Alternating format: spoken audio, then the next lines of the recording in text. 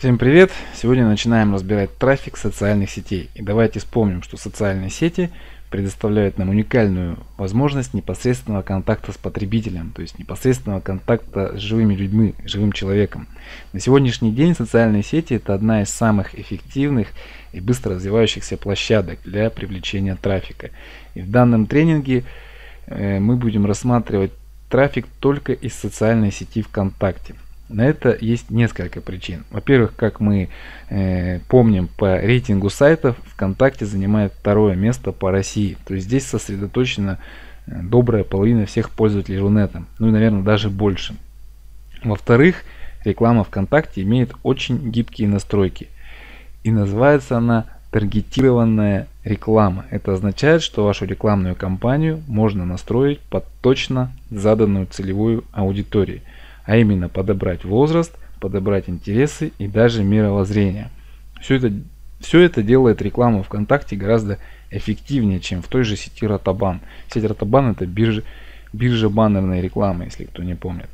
Э, вообще социальные сети начали двигать потихоньку и контекстную рекламу. Но окончательно ее заменить они, конечно, не смогут никогда. Но, естественно, без ложки дегтя здесь не обойтись. Потому что в социальных сетях люди не ищут какого-то конкретного предложения.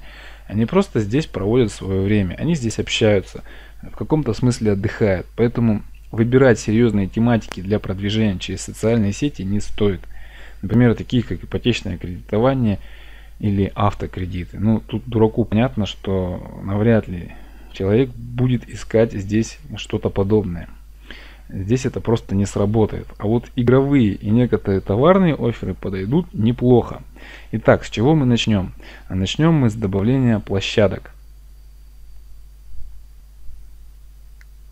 И снова повторю, прежде чем приступить к самой рекламной кампании, необходимо выбрать оффера.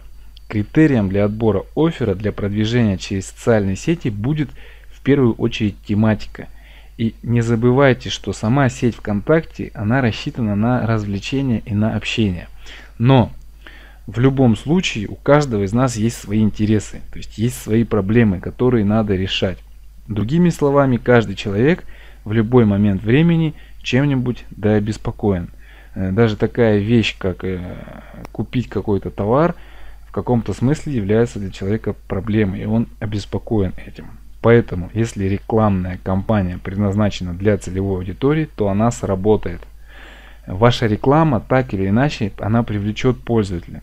Потому что, еще раз повторю, что каждый из нас в любой момент времени обеспокоен своими какими-то делами. И увидев то, что касается его дел, человек моментально об этом вспоминает. Ну, это касается более-менее серьезных тематик. Если же речь идет об онлайн-играх, то есть развлечениях, то естественно здесь тактика другая. А именно наоборот максимально расслабить пользователя, что называется усыпить его. Ну, ну это естественно в кавычках. Ну и достигается это все просто, даже элементарно, путем использования изображений, которые э, мы вставляем для объявления. И естественно текста объявления. И вот теперь мы подошли к выбору э, самих площадок. Итак, пойдем от простого к сложному. То есть начнем с этого и закончим этим.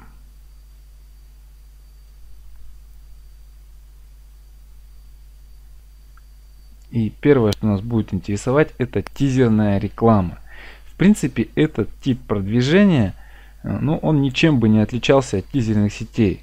Но как я уже говорил, в настройках э, можно задать, в настройках объявления можно задать очень гибкие параметры. То есть нацелить объявление на заинтересованного пользователя, а не на кого попало. Думаю, плюсы здесь всем очевидны. Итак, мы выбираем сеть ВКонтакте. Выставляем регион Россия-Украина. Можно поставить дополнительно другие регионы. Это опять же зависит от оффера. Но, как помним, не более 5 регионов. И далее в объявлении э, вставляем следующий план.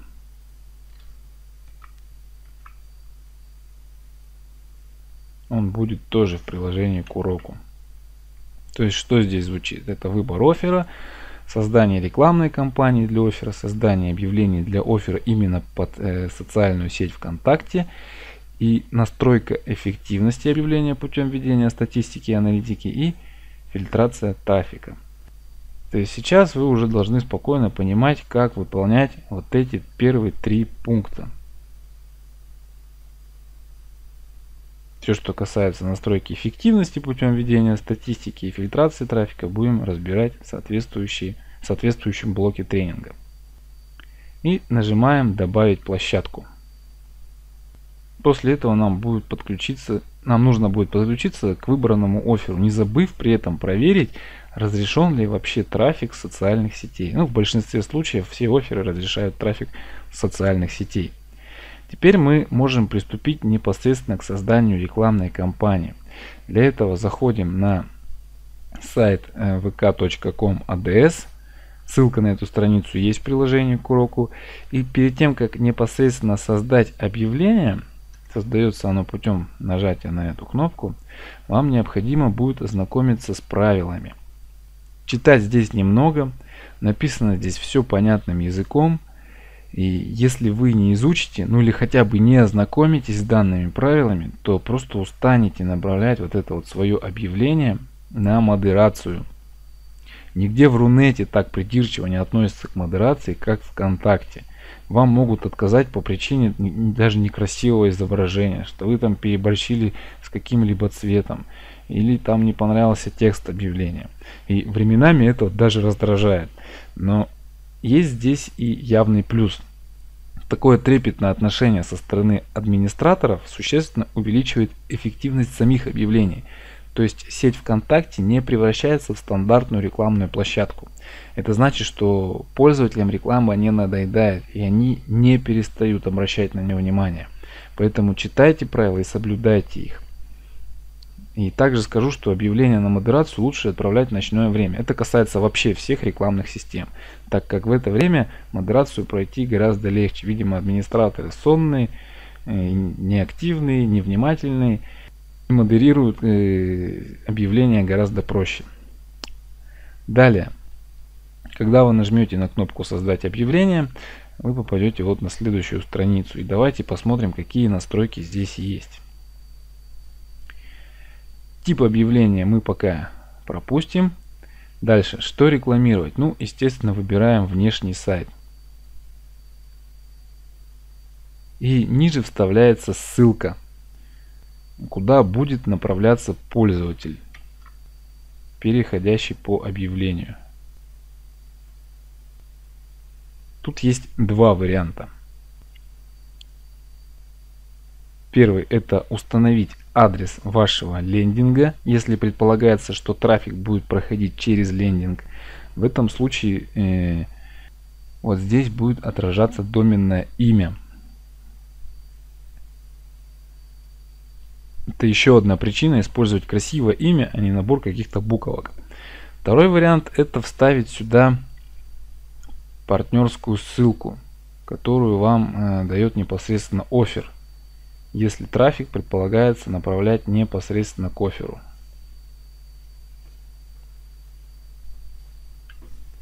Далее идет пункт объявления.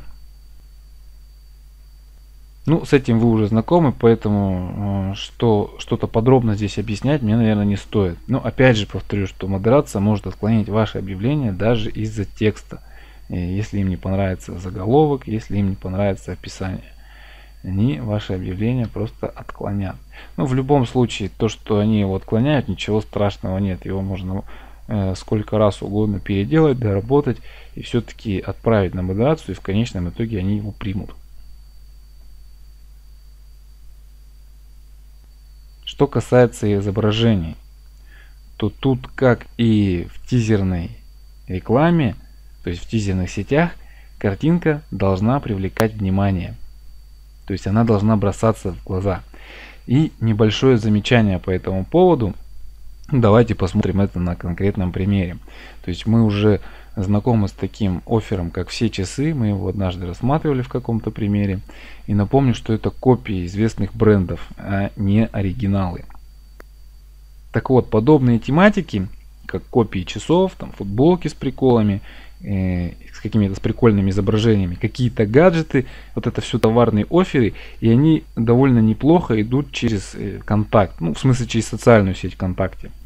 Так вот, если вы выбираете изображение для товарного оффера, да, чтобы поставить э, вот сюда его, если вы выбираете изображение, то лучше непосредственно использовать изображение самого товара, предлагаемого товара. Не набирать его, как мы это делали в предыдущем уроке в тизерных сетях через Яндекс картинки, а сразу идти сюда и сохранять здесь картинку на свой компьютер, то есть выбирать ее. Так вот, если вы выбираете изображение для товарного оффера, то обязательно смотрите, чтобы предлагаемый товар, он э, непосредственно, предлагаемый товар на картинке соответствовал тому товару, который будет на продажной странице. Также не забывайте про инструмент Deep Link, чтобы направлять трафика именно на целевую страницу. Это мы уже рассматривали. То есть смотрите, я допустим выбираю вот это изображение, Нажимаю сохранить как.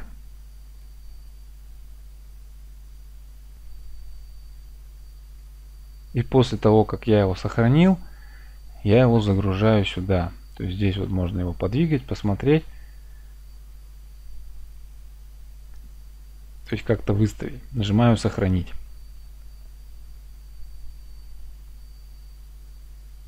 Так вот, используя инструмент Deep Link, нужно сделать так, чтобы пользователь, э, перешедший по вашему объявлению, попал непосредственно на продажную страницу. То есть, чтобы он увидел именно эти часы на вот этой странице. Далее мы видим охват целевой аудитории. И после нее идут настройки таргетинга, то есть вот тех самых гибких настроек, которые можно использовать. После того, как вы здесь э, что-то настроите, то вот эта цифра, она, конечно, изменится. Может стать, например, вот такой.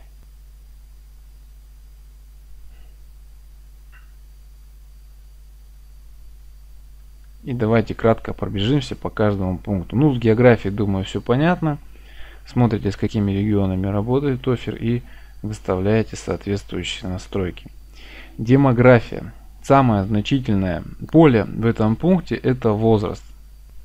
Некоторые оферы в своем описании прямо четко указывают возраст своих клиентов.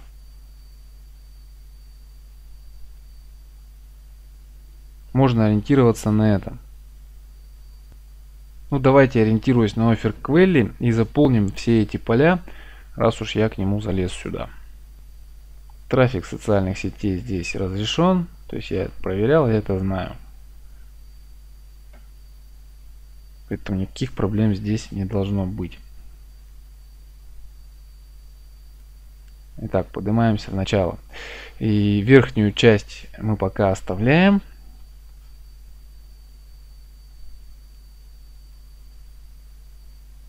И приступаем к заполнению параметров. Итак, тематика.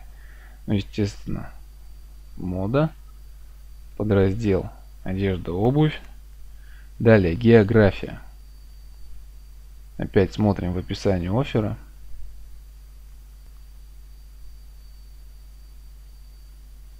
И тут прямо указаны города,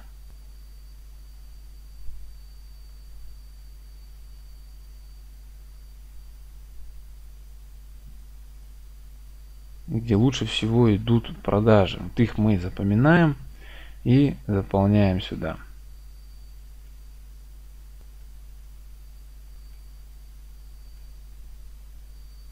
Но я все заполнять не буду, чтобы не тратить время. За исключением, то есть какие-то города можно исключить. Далее идет настройки демографии, пол. Видим, что преимущественно женщины, Возраст мы видели от 25 до 45.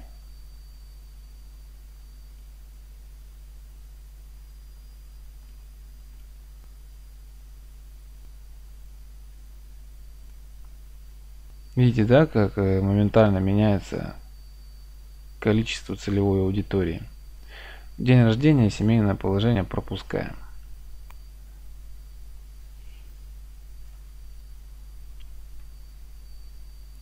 Далее, интересы. Здесь мы просто набираем э, те ключевые слова, ну или просто слова, которые нам приходят в голову, когда мы думаем об одежде. И из выпадающего списка уже начинаем отбирать что-то.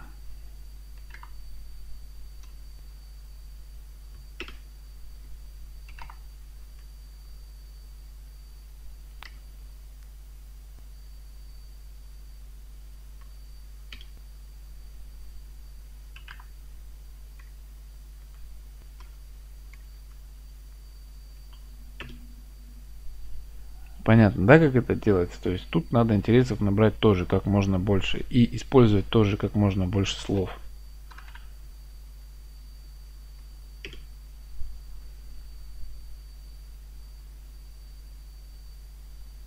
Категории групп в данном случае можно пропустить.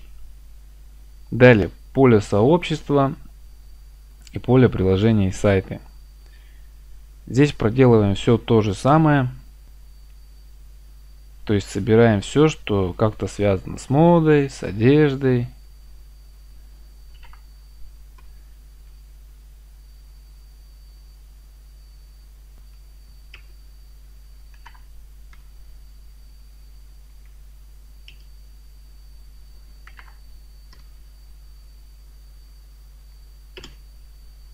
и так далее. И можно исключить какую-нибудь группу из сообществ, если вам допустим, ну не хочется с ней сотрудничать, не хочется продвигать там свою рекламу. Далее, мировоззрение. Ну, на, религия такая э, штука тонкая, поэтому я ее даже не касаюсь. Следующая расширенная география. Здесь ничего заполнять не надо, потому что это, можно сказать, уже э, лишнее и так, просто для количества здесь задано. Ну, еще пропустил пункт путешественники. это те люди, которые выезжают за границу и просто оттуда выходят в эту социальную сеть. И сомневаюсь, что находясь на отдыхе, человек будет что-то покупать. Поэтому оставляем это поле пустым. Далее, образование и работа. В общем-то, единственное поле, которое здесь можно заполнять, это должности. Опять же, можно посмотреть в описании оффера, что тут написано, что вот экономические факторы преимущественно это трудящиеся, 77% из них менеджеры, офисные клерки, эм, больше половины и начальники отделов. Ну и написано образование их. То есть это все можно использовать для настроек.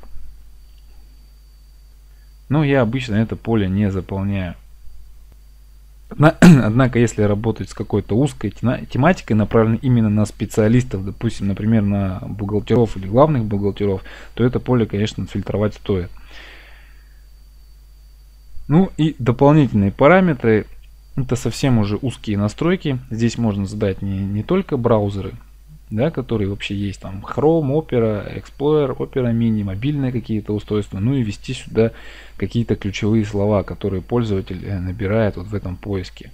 Но э, это уже какая-то какое-то подобие кон контекстной рекламы, ну, естественно, не, не то, что не один, но очень мизерное количество людей ищут здесь что-то целенаправленное. Ну, например, запрос купить одежду.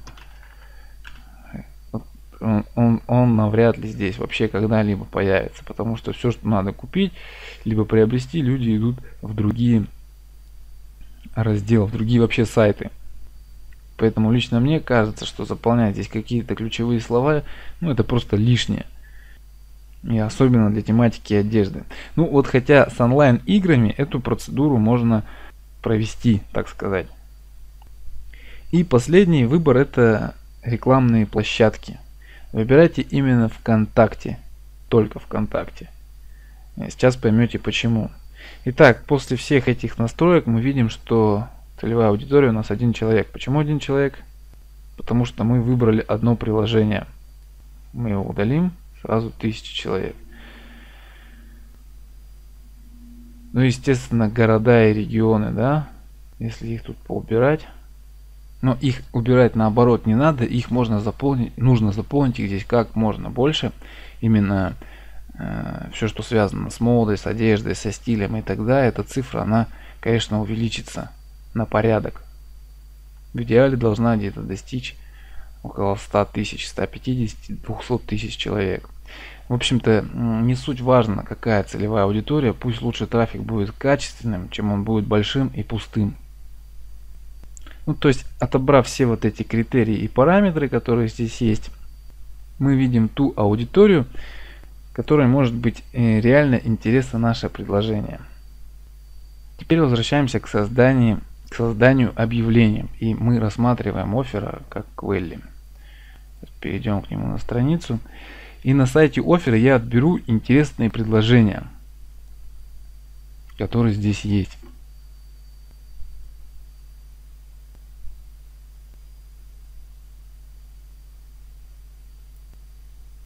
То есть тут на сайте оффера можно прям посмотреть, какие тренды сезона есть.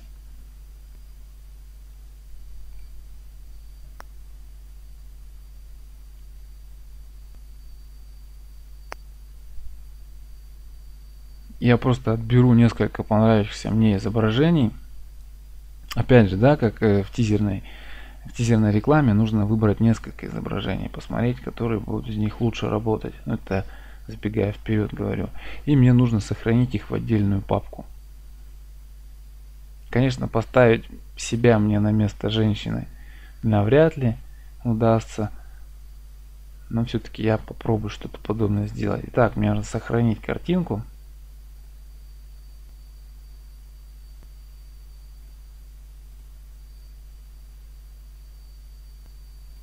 И вот что-то подобное производим с несколькими картинками такими. Не обязательно именно это.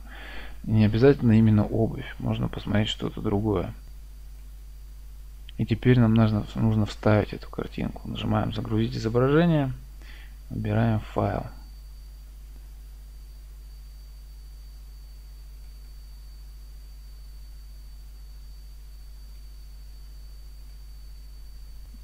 Вот смотрите, в таком виде, в котором она сохранилась у нас на компьютере, она не подойдет, потому что размер изображения объявления, он ограничен. Поэтому что мы делаем? Мы открываем текстовый редактор,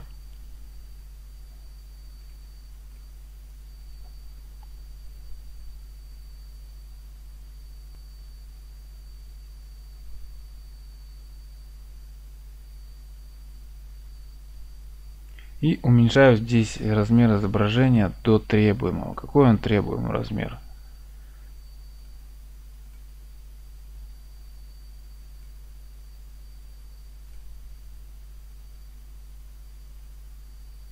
А вот на 90 на 65. Ну, не обязательно использовать именно этот редактор, просто вы должны понять, что можно изображение как-то корректировать. В данном случае оно некрасиво получилось. Поэтому чуть изменим, но вот так уже более-менее. Нажимаем готово. Закрываем и сохраняем.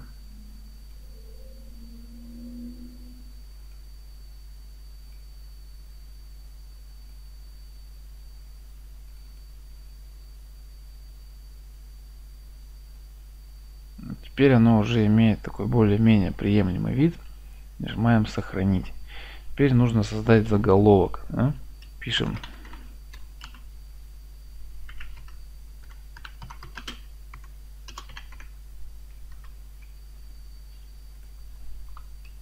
Ну вот такое объявление у нас получилось, с таким вот э, описанием, с таким заголовком и с такой картинкой. То есть все объявление почти готово. И не забывайте, что оно должно вести пользователя на целевую страницу. Используйте для этого инструмент Deep Linked. То есть лучше сразу. То есть лучше сразу отправить пользователя на эту страницу продажную, где он может моментально увидеть тот товар, который он видел именно в объявлении. Как это делать, вы знаете. Теперь вот подобных объявлений нужно составить несколько штук. Потому что вот как и в случае с тизерной рекламой, необходимо понять, какой из них, ну что называется, выстрелит. Естественно, нужно будет что-то поменять в настройках, естественно, что-то нужно будет поменять в заголовке и в объявлении. И вот теперь подходим к так называемой последней фазе, это задаем тип объявления. Их тут существует ну, три, но В нашем случае мы будем использовать только два. Нам нужно только два. Это оплата за переходы и оплата за показы. Теперь смотрим, сколько будет стоить оплата за переходы. Она составляет ну, рекомендовано от 20 рублей до 35 рублей. Да? для арбитража, ну это просто что-то ужасное. И работать с такими настройками это просто бред. Но их надо использовать и ставить, допустим, цену здесь не 35, ну где-нибудь процентов на несколько там ниже, допустим 17 рублей да, за переход. Зачем это нужно? Потому что э, когда вот вы только выставляете объявление, когда только запускаете его работать, нужно понять, насколько у него хороший показатель CTR, то есть насколько оно кликабельно это объявление, ну и еще несколько таких же. Как только вы увидите, что какое-то из них дает более высокий показатель кликабельности, то необходимо будет сразу переключиться за оплату на показы. А те объявления, которые не дали нужного там результата, их нужно просто удалить. И еще небольшое замечание. Обязательно ограничивайте количество показов. До 100 показов на одного человека. Ну понятно, что если человек 100 раз увидел ваше объявление, не обратил на него внимания, не перешел по нему, значит оно ему не интересно. И поэтому нет смысла показывать ему его больше 100 раз. Думаю, это понятно, тут объяснять уже больше ничего не надо. Вот, наверное, все, что можно рассказать о таргетинговой рекламе, то есть какая она есть. Но это еще не все о рекламе в социальных сетях. Итак, как вы, наверное, заметили, помимо тизерного типа рекламы, есть еще реклама в приложениях и реклама в группах. Сразу скажу, что для арбитража, для арбитража эти способы не подходят. Но если вы помните, я говорил, что арбитраж CPA это далеко не все. Поэтому сегодня мы просто кратко рассмотрим, что же такое все-таки реклама в группах и как она работает. Итак, есть такой сайт, он называется public1.ru, где собрана статистика по всем группам и так называемым пабликам ВКонтакте. Здесь можно отобрать необходимые площадки по заданным параметрам. Вот эти параметры это тип, возраст, э, мужчины, женщины, количество подписчиков и так называемые уники. Уники это уникальные посетители э, за сутки. И мы сейчас кратко рассмотрим, что это за параметры, как их отбирать. Но э, прежде, перед этим, давайте откроем хотя бы один так называемый паблик. И я покажу вам, как здесь выглядит данная реклама. Ну вот так выглядит один из лучших пабликов на который подписано более 3 миллионов человек. Ну, хотя, если честно, мне не совсем понятно, почему это так. Ну да ладно. Итак, вот э, можно заметить, что среди стандартных записей, которые здесь есть, есть вот такие вот рекламные блоки. Но это не совсем показательный пример, потому что это даже не совсем, так сказать, рекламный блок. Он просто рассчитан на то, что пользователи будут перекидываться в другое сообщество. Поэтому давайте посмотрим на другой пример. Ну, вот так, например, выглядит рекламный блок.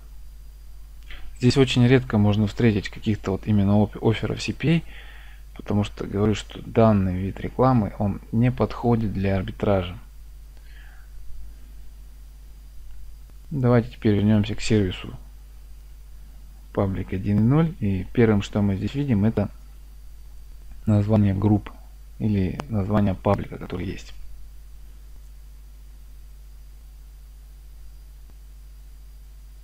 Эта стрелочка это ссылка на страницу статистики данного паблика.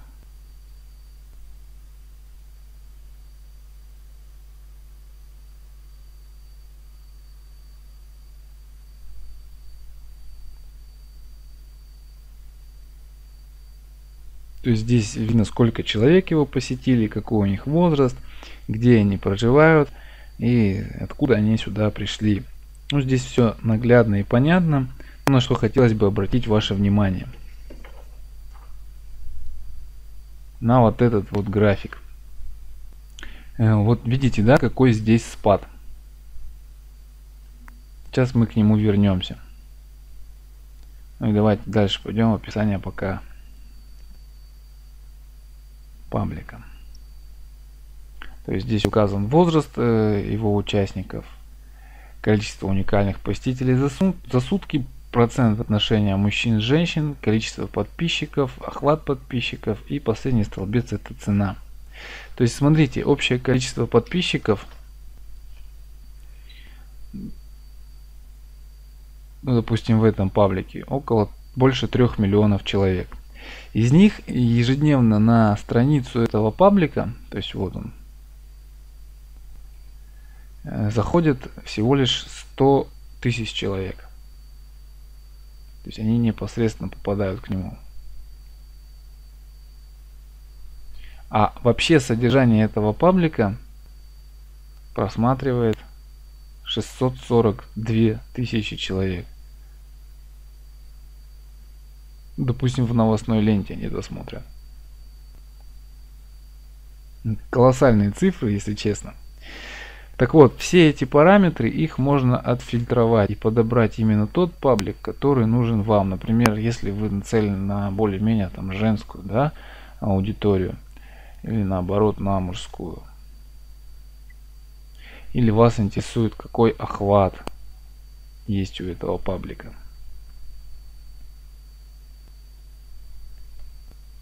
Так вот, чтобы разместить пост с рекламой на данном паблике, нужно его оплатить. И цена указана в последнем столбце. И вот смотрите, тут прям написано, что когда вы его оплатите, то первый час он будет находиться на первом месте в новостной ленте. Ну, или просто в ленте. И удалиться через 24 часа после размещения. То есть первый час – ваша реклама будет находиться на самом видном месте. Так вот, если разместить свой пост вот в это время, то эффект будет нулевым, то есть эффекта вообще не будет. И давайте объясню, почему здесь такой резкий спад. Потому что сейчас время 5 00 по Москве.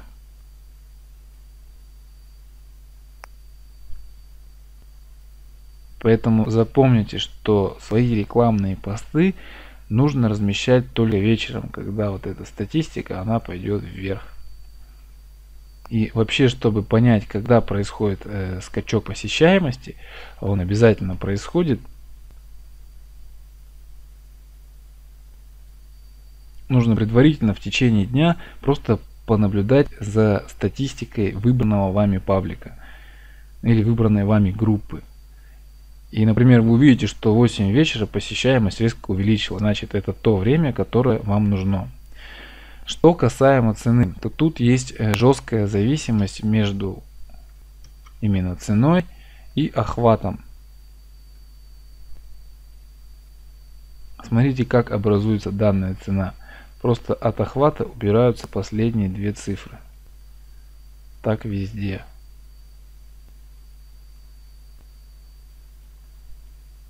Видно, да? То есть большие деньги за размещение у вас запросить не могут. Меньше, да, могут, а больше никак нет. Ну, конечно, запросить могут, если вы не знаете вот этого, то вы, конечно, оплатите. Поэтому если вы видите, что с вас пытаются потребовать больше, чем оно того стоит, то обращайте на это внимание и можете высказать свое возмущение. Ну и для размещения рекламы необходимо связаться с администратором или с автором этого паблика или группы. Его контакты всегда есть на странице данного паблика. И еще раз повторю, что для арбитража данный способ продвижения не подходит. Сейчас просто запоминаем его. Он, он нам обязательно пригодится, потому что арбитраж CPA это еще не все. Ну и под занавес урока покажу вам кейс, который реально работает. Кейс это набор вот всех этих параметров, которые мы рассматривали. То есть всего вот этого таргетинга. Однако тут есть один нюанс. Если на одной улице работает одно кафе, то это хорошо. Если же на данной улице работают 10 кафе, то это уже хуже. Ну, думаю, все поняли, что я имею в виду. Итак, сейчас весна, скоро лето, и люди снимают себя пуховики, шубы и прочую верхнюю одежду. Поэтому мы подключаемся к оферу, который называется «Все майки». Он продает футболки, майки, какие-то там аксессуары так называемыми приколами. И помните, да, я говорил, что всякие шутки и прибаутки, они отлично подходят для сети ВКонтакте. Итак, что мы делаем? Первым делом мы переходим на, ну, естественно, мы э, подключаем площадку, подключаемся к данному оферу. Видим, да, какие здесь майки продаются. И после того, как вы подключились к оферу, вам будут доступны вот такие вот ссылки распродажа толстовок. Ну, тут они прямо описаны. Итак, что здесь именно подходит? Это интернет-приколы, так называемые мемы. Вот она ссылка. Наша партнерская.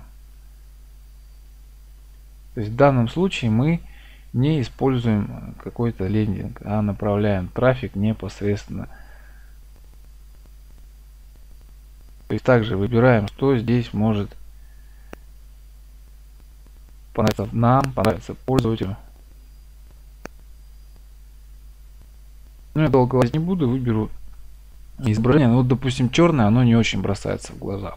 Желтый уже как-то интереснее, да? Давайте сохраним это изображение и непосредственно уже настроим объявление. Итак, в данном случае тестировать здесь ничего не надо. С помощью оплаты за переходы выставляем оплаты за показы. Э, выбираем внешний сайт, который мы будем рекламировать. Ссылку берем отсюда.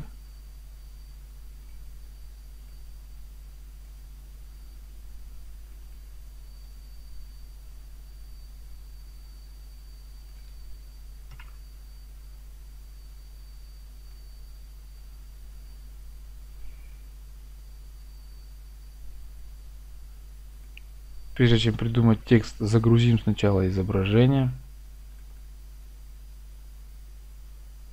То есть здесь видно, да, как оно четко вписывается и подходит. Сохранить. То есть вот так оно будет выглядеть. Ну и лучше посмотреть, что здесь можно написать. То видим, да, теперь э, объявление уже приобрело тот вид, которым будет видеть его пользователь. Итак, выбор тематики. Ну, наверное, развлечение и досуг.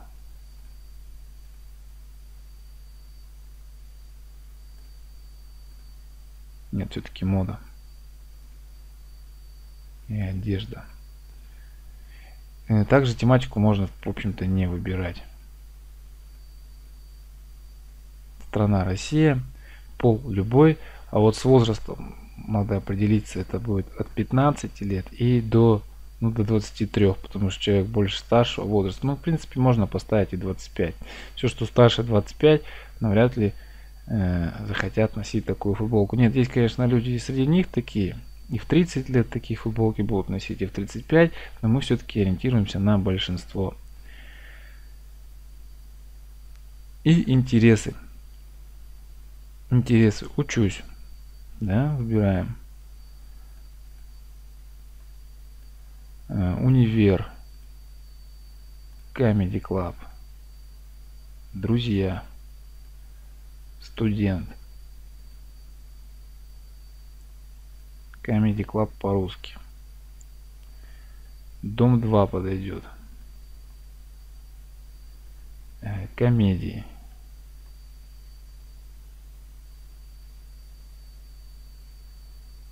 И так далее. Я не буду здесь все опять заполнять, потому что, в общем-то, настройки здесь гибкие, каких-то жестких условий нет. Ну и категории групп. Сообщество приложения мы не трогаем, мировоззрение тоже не трогаем, путешественников не трогаем. Ну и все остальное тоже мы не трогаем. Теперь браузеры и устройства. Выбираем Firefox, Opera, Chrome, Internet Explorer, Safari, планшет iPad, планшет Android.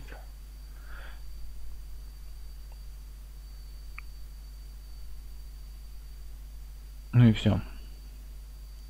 То есть вот целевая аудитория получилась почти 2 миллиона человек. Теперь э, обязательно ограничиваем стоимость показа Называем свою рекламную кампанию, выставляем цену 3.96. Значит, можно поставить 3,7, да, чтобы было подешевле нам за 1000 показов. Все, кейс готов. Давайте повторим его снова. Значит, внешний сайт, э, партнерская ссылка сразу на лендинг продажи данного товара. То есть вот он человеку прям бросается в глаза. Текст объявления «Прикольные футболки 2013». Тематику я опустил. Изображение вы видели, как загружается. Э, напомню, что такое объявление должно быть э, в нескольких вариантах. Ну, допустим, зеленая футболка, да, оранжевая. Можно кружку поставить и так далее.